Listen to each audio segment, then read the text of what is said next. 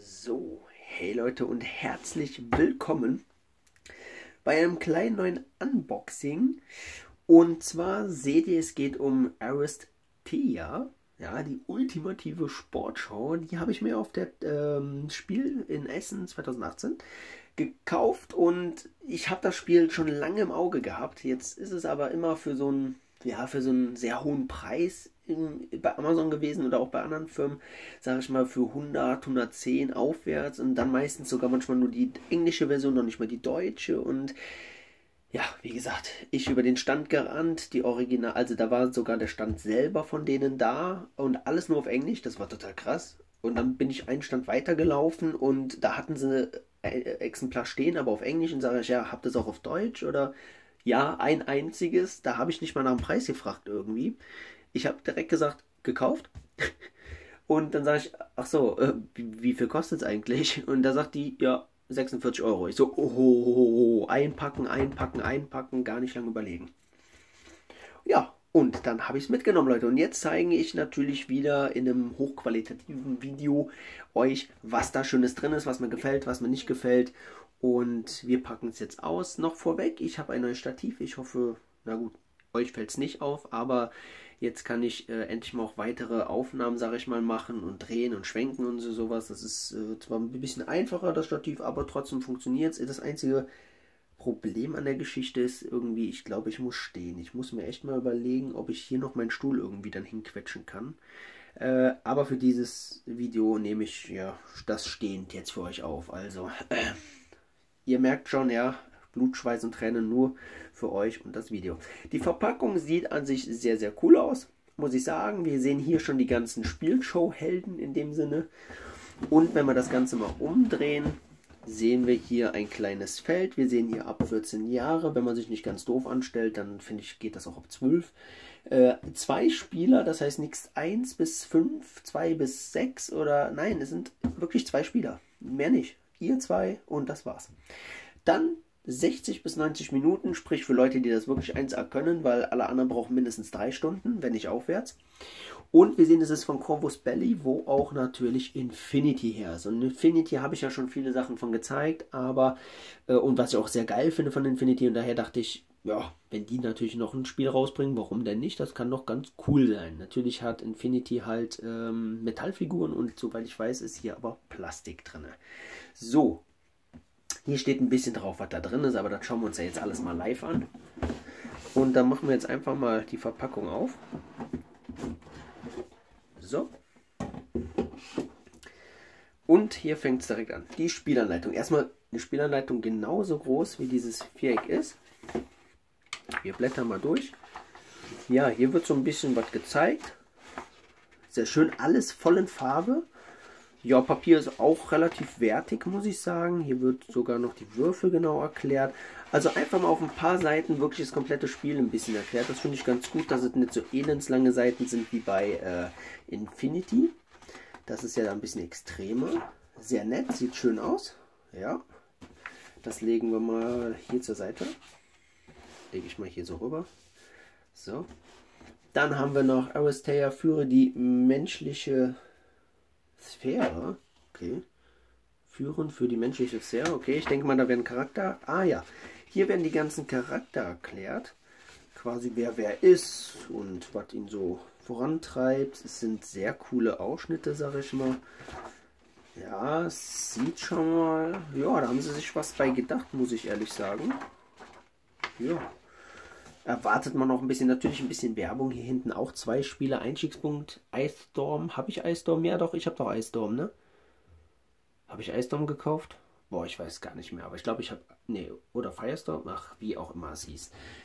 Irgendeinen Teil habe ich davon gekauft und euch ja auch schon gezeigt. Falls euch das interessiert, Infinity habe ich in der, in der Playlist. So, dann haben wir hier Aristea Global Leech Season 1.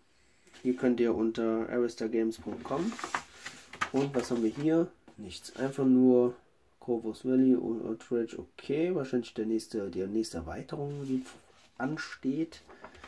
Und jetzt fangen wir schon mit dem Spielinhalt an. So, was haben wir Schönes? Wir haben einmal... Ah, das Spielfeld selber, ihr seht, das ist sehr cool eingepackt. Also, und wir gucken mal. Stopp, so. Hoppala. Hier. Eine relativ, ach das geht, das Feld ist relativ klein, muss ich sagen. Das ist nett, das passt auf jeden Küchentisch, auf jede Arbeitsplatte und ja, das ist nice. Das ist sehr cool. Und es sind sogar zwei Spielfelder, glaube ich. Hier einmal das hier und einmal, wenn wir es drehen. Ja, schaut mal, wenn wir es drehen, dann sieht das nochmal so aus. Also hat was, ist auch auf jeden Fall hochwertige Pappe, muss ich sagen. Also in, die Frage ist nur, wie oft kann man das hier hin und her knicken, bis es irgendwann mal auseinanderfällt. Aber ansonsten hochwertig, auf jeden Fall. Ist matt, ja, ist matt. Und wie aus den meisten Tabletop-Games oder Boardgames oder, oder Brettspielgames, ja, ist das Ganze.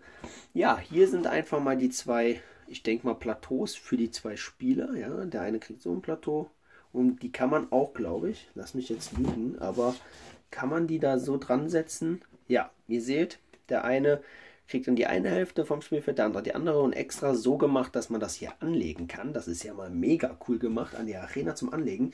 Zu einem, falls ihr es nicht ganz seht, sind die sogar hier die Einlagen so gemacht, dass das alles einen festen Punkt hat und nichts wackelt hier drin. Ja? Das heißt, das hier ist extra so ausgeschnitten für dieses Spielfeld, also für, dies, für diese Arena.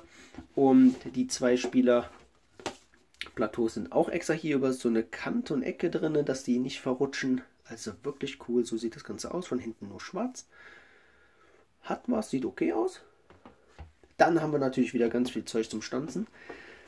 Sieht auch recht hochwertig aus. Sogar das hier ist sehr cool. So kleine Marker mit äh, Bildchen drauf. Finde ich sehr, sehr schön. Das hier sind einfach nur rote Dreiecke. Ich denke mal Lebenspunkt oder irgendwie sowas. Ah, Totenmarker. Ah, ein bisschen, gut, hier ist dann natürlich nur in 2D gezeigte, äh, ich denke mal, das sind so Minen, schätze ich mal, oder einfach nur so, ja, Platten hätte ich beinahe gesagt, damit man da nicht durchschreiten kann, wie diese Wasserminen, wisst ihr so. Dann haben wir hier natürlich noch eins. Okay, es gibt zwei Stanzbögen. Einmal mit Bewegung, Frost, Gift, keine Sicht. Mhm, mhm. Also wie gesagt, wenn ich einiges vielleicht jetzt falsch aufzähle, ich zähle das nur so auf, wie es mir vorkommt, weil man es so aus anderen Spielen kennt. Aber wenn das natürlich hier jetzt immer was anderes zu bedeuten hat, dann, dann tut es mir leid. Ah, sehr schön. Wir haben hier von der Seite das. Und wenn man es rumdreht, haben wir nochmal andere Effekte. Sehr interessant, sehr cool gemacht. Und dann seht ihr, haben wir hier auch schon wieder ein Fach und hier rüttelt nichts. Hier geht es dann weiter. Hier ist dann die, das Referenzheft. Ja, und das ist natürlich wieder so ein kleiner Klopper. Ja, weil es gibt wahrscheinlich sehr viele Fragen. Und dieses Buch bietet alle Antworten natürlich zu Genüge. Ähm, ja, ihr spielt, also ihr habt quasi fünf Seiten, jetzt mal grob gesehen, fünf Seiten für das Spiel zu lernen und ab dann wird es schwierig, ab dann dürft ihr 40 Seiten erstmal noch nachschauen. Interessant, aber auch sehr hochwertig gemacht, sehr, sehr bunt vor allen Dingen. Das Spiel ist sehr bunt, ist so ein bisschen asiatisch angehaucht, muss ich ehrlich sagen, wenn ich mich jetzt nicht ganz weit aus dem Fenster lehne, aber hat sowas einfach. Und was haben wir hier noch? Wir haben hier so einen kleinen, einen kleinen Stickerbogen. Aha, okay, mal gucken. Und was haben wir hier als nächstes? Wir haben die Würfel. Interessant. Die Würfel, die packen wir jetzt aus. So, weg damit. Ja, was sind das für Würfel? Die Würfel sind sehr qualitativ niedrig. also es sind wirklich ganz einfache Plastikwürfel mit einfach irgendwelchen Symbolen drin, ja, wahrscheinlich Symbole, die, die man dann braucht, die man dann benutzen kann und so weiter, die dann Fähigkeiten, äh, wo, wo dann die Spieler die Fähigkeiten für brauchen und so weiter. Kennt man schon aus anderen Tabletop- oder Warhammer-Spielen. Äh, ansonsten sind die, die hätten sie was hochwertiger machen können, finde ich. Ich meine, gut, es sind im Endeffekt nur Würfel, aber naja, ich mag halt, wenn die Würfel wirklich was hergeben und diese nur, einfach nur schlicht und einfach.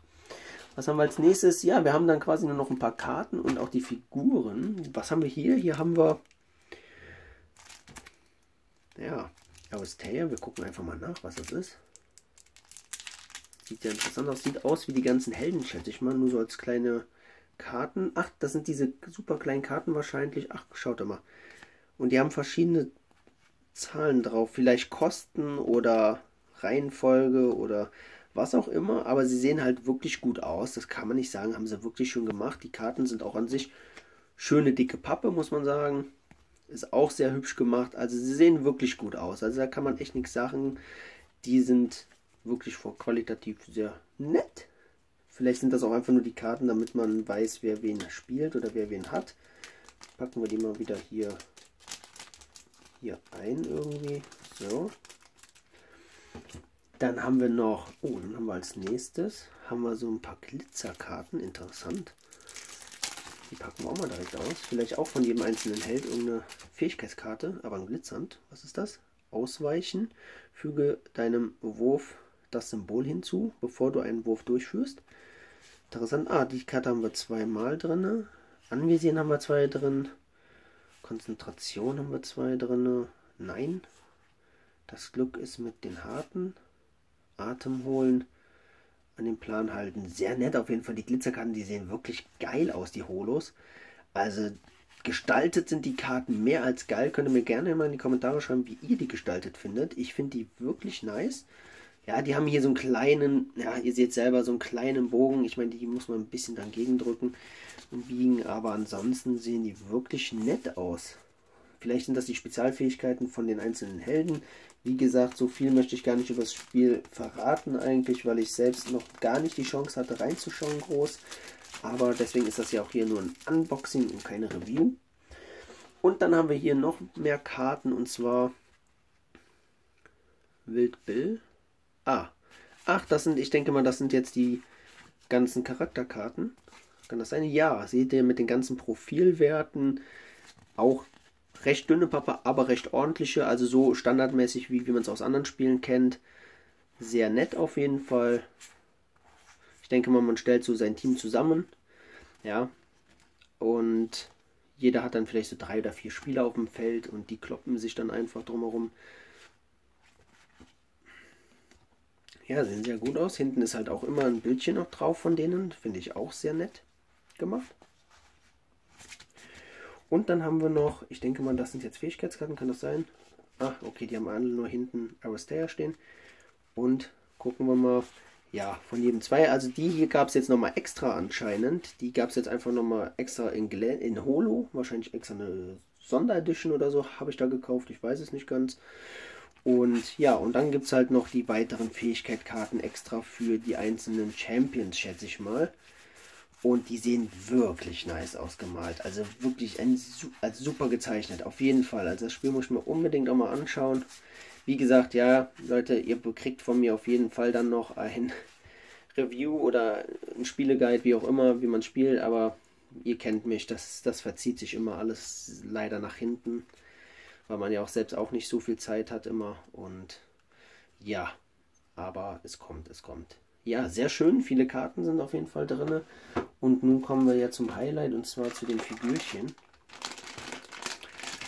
Und zwar, ich hole die einfach mal direkt raus. Die sind aus Plastik, habe ich ja gesagt. Und jetzt schauen wir uns einfach mal alle an. So, sehr groß sind sie. Ich kann mal kurz, habe ich hier, ja, ich habe meinen Zollstock parat. Das heißt für euch extra mal die Höhe von einzelnen. Und zwar Augenhöhe 4,5 könnte man sagen. Ja, also 4,5 ist schon recht eine große auf jeden Fall. Ist sehr groß. Klar, das Plastik ist hier ein bisschen gebogen an sich. Der Kunststoff ist nicht, ja, also ein bisschen Bearbeitung muss man reinstecken und vor allen Dingen muss ich auch sagen, detailliert. Hm. Nicht schlecht, könnte aber besser sein. Und wenn ich mir das hier jetzt mal anschaue, warum ist da Kleber drauf? Das heißt, die haben die vorher schon alle geklebt. Die waren wahrscheinlich in Einzelteile. Hätte ich mir sogar dann eher gewünscht. Aber da es ein Brettspiel ist, wollten sie es schon vorher natürlich, denke ich mal, einzeln gegossen. Und dann wollten sie es schon zusammenkleben, damit die Spieler das nicht mehr machen müssen, damit sie direkt spielen können und nicht noch Kleber kaufen müssen. Ist ja sehr nett. Aber wie gesagt, dann hätte ich mal ein bisschen aufgepasst und dass die Teile auch zusammenpassen. Ich hoffe, ja, hier geht es noch. Ich hoffe, dass die anderen nicht schlimmer aussehen. Und ja, Details, wie gesagt, man erkennt alles, man weiß, wer es ist. Es ist dieser Panda mit dem Stock oder Stab. Und aber wir kennen von GW Besseres oder von Dark Souls selbst die Figuren, finde ich, sehen besser aus. Also wie gesagt, ich könnte jetzt tausend Brettspiele aufzählen, aber es gibt auch Brettspiele, die wirklich scheiße sind dagegen. Also es ist ein, es ist ein guter Standard, nennen wir es mal so, ja. Dann haben wir als nächstes hier unseren Cowboy. Ja, und ihr seht schon, hier wurde, ja, seht ihr das? Der Kopf steckt nicht zu 100% drin. Ne? Ihr seht schon, die Haare sind da raus und das ärgert mich vor allen Dingen extremst. Weil ich habe da keine Chance. Ich muss da jetzt nacharbeiten extra, wenn ich vernünftige Spielfiguren möchte. Und das finde ich einfach, das ist nicht so cool. Ansonsten eine sehr hübsche Pose und Geste und die Figur an sich gefällt mir trotzdem sehr gut. Ja, wie gesagt, zu den ganzen Qualitätssachen könnt ihr mir gerne in die Kommentare schreiben, was ihr, ihr davon haltet. Vielleicht bin, bin ich auch sehr pingelig, kann sein, aber jemand, der so viel Geld dafür ausgibt, immer für die ganzen Sachen, kann da ruhig was pingelig sein, denke ich. Ja, er hat selbst auch eine richtig coole Pose. Er ist auch scheinbar relativ. Ne, hat auch hier eine Lücke leider. Dann ist außerdem hier. Seht ihr das an der Base, an den Beinen? Das ist nicht zu 100% drin. Das ist auch total geil gemacht wieder. Also da haben sie, ich finde, ein Schluderich haben sie hierbei schon gearbeitet. Muss man einfach mal sagen. Dann haben wir als nächstes, aha, unsere Gun-Gale-Tante. Ja, die geht einigermaßen basen, naja, aber zumindest ist der Rest halbwegs zusammengesteckt irgendwie richtig. Aber sie sieht auch sehr hübsch aus, aber man muss halt wirklich überall nacharbeiten, wenn man wirklich sagt, es soll ein hübsches Tabletop sein. Oder Brettspiel, wie auch immer. Dann haben wir hier unsere, naja, unsere Sci-Fi-Tante. Das hoffe ich mal soll so sein. Ich schaue es mal, sorry, ich schaue es mir mal ganz kurz selbst an. Ja, ich denke mal, das soll sowas sein wie diesen miteinander nur mit so irgendwelchen Lichtbünden, Lichtsachen verbunden, was weiß ich denn. Also es soll so sein. Ja, Qualität ist jetzt von der hier schon ein bisschen hm, angegriffener, aber es geht noch. Aber sie ist sehr hübsch. Sie ist sehr hübsch. Wie viel haben wir jetzt schon? 2, 4, 5. Es sind insgesamt 8, sehe ich. Dann haben wir noch hier diese Assassinen und die haben wirklich alle, sind die alle gleich hoch? Wir gucken mal. Augenhöhe 4,5, ja. Und als nächstes, ja, hier haben wir hier so ein bisschen, ne, zum Stanzen müssen wir noch was wegschneiden. Die Base, ach du Scheiße, guckt, ihr, guckt euch mal das an, ey, was ist das? Guckt euch das hier an. Also das ist schon wirklich schlampig gearbeitet, muss ich echt sagen, dass das ist wirklich unter aller Sau. Dann hätte ich lieber die hier weggelassen, hätte gesagt, hier, die müsst ihr selbst noch zusammenstecken, das hätte keinen gestört. Aber das ist wirklich unterirdisch, muss ich echt sagen. Da muss ich so viel nachmachen noch. Das kann eigentlich nicht sein, sowas. Vielleicht habe ich auch nur Pech gehabt bei meiner Version, kann ja auch sein, aber finde ich nicht gut. Vielleicht sagt jetzt einer oder andere, boah, stellt der sich an, aber hey Leute, ja, also ihr wisst, was ich mache und von daher kann ich das, denke ich, auch mal sagen. So. Aber der Move oder die, die, so wie sie drauf ist, ja, sieht schon cool aus. Dann haben wir hier einen richtig dicken Tank. Da stelle ich mir fast kaum vor, dass der bei 4,5 ist. Der hat sogar Augenhöhe auf ja, 4,5 auch, ist der Wahnsinn. Der ist cool, ist so ein kleiner dicker Tank, sieht sehr nice aus. Max steht drauf. Der ist, scheint auch ordentlich zusammengeklebt zu sein, auch hier unten an der Base relativ okay. Gut, klar, der steht hier auch mehr in der Luft wie alles andere. Kann man, muss man auch nachbearbeiten. Also ich muss alle nachbearbeiten, aber nun gut, er sieht aber trotzdem sehr, sehr nice aus. Und dann kann der auch weg. Und, wen haben wir noch? Hier haben wir noch eine die springt hier mit ihrer Peitsche. Nee, Quatsch. Wer ist das? Ach so, das ist die von vorne hier, diese kleine rosane Tante. Ja, also. Tja, was soll ich hierzu sagen? Guckt euch das an. Absolut schief. Die stellt bestimmt normalerweise so. So und nicht so. Die stellt 100 Pro mehr so normalerweise, aber ja, rütteln kann man da wahrscheinlich auch nichts mehr dran, oder? Nee, also das ist. Nee, absoluter Scheiß. Muss ich ehrlich sagen, die letzte Figur, die haben sie richtig verschissen. Gefällt mir echt nicht. Also, wenn ich jetzt dafür noch 110 Euro ausgegeben hätte und dann für so eine Qualität, in dem Sinne, auch wenn das Spiel super ist, aber da hätte ich mich echt geärgert. Na gut.